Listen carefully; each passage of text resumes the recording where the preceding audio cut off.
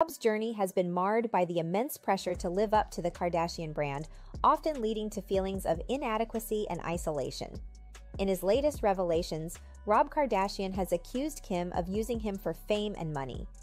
We know that the Kardashian Jenner family has built an empire around their lives, turning their personal experiences into lucrative business opportunities. This, coupled with the alleged exploitation, has contributed to Rob's retreat from the public eye and his ongoing battle with self confidence. Rob's allegations suggest that Kim prioritizes her own interests above the emotional well being of her family members, leaving him feeling exploited and betrayed.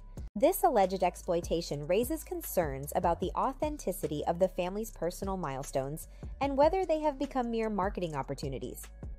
We know that Kim has undeniably built a formidable empire through her various business ventures, including her reality TV show, fashion lines, and beauty brands.